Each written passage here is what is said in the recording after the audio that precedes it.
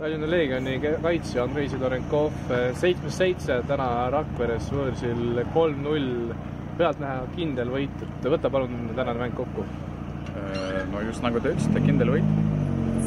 rohkem midagi öelda ei oska, et noh, lõpus tegime oma elu raskeks selle punase kaardiga, aga seisime väga hästi väljakul ja saime need kolm punkti, mis, mis oli täna kindlasti plaanis no sa rääkisid juba sellest punasest kaardist, sinu keskkaitsepartner sellest sai, et kuidas sina kõrval olnud keskkaitsjana seda olukorda hindad, et õige kaart või, või mitte?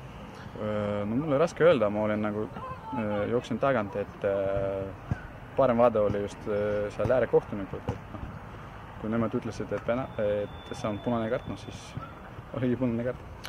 Tarvas enne tänast kaks väga suurt kaotust järjest, aga tegelikult on teada, et sisuliselt ikkagi suure esiliiga kogemusega meeskond, et et kuidas, kuidas teie häälestus oli Tarva vastu täna, et lasite ennast nendest suurtest kaotustest mõjutada või võtsite ikkagi väga-väga tõsiselt tänast kohtumist?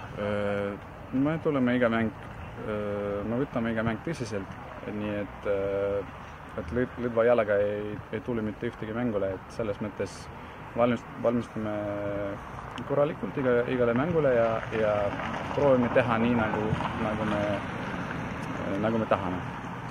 Real Alijev, ründaja, täna jälle kübaratrikk või no mis jälle, aga, aga kaksteist mängu, kaksteist väravat seitsme mänguga, et selgelt meeskonna nii-öelda vedur ründefaasis, et kommenteeri enda meeskonnakaaslase esitust ka, et kindlalt liiga parim väravakütt praegu. Jah, ta ainult kidusõnad selles mõttes, et ta ongi ründaja, ta peab väravat lööma. et väga hea, et ta on, ta, ta on, ta on seal, kus ta peab olema ja, ja väga hea, et ta need sisse lööb teeb elu, elu, elu lihtsaks. selge, aitäh sulle, jõudu Leegionile järgmistes voorudes.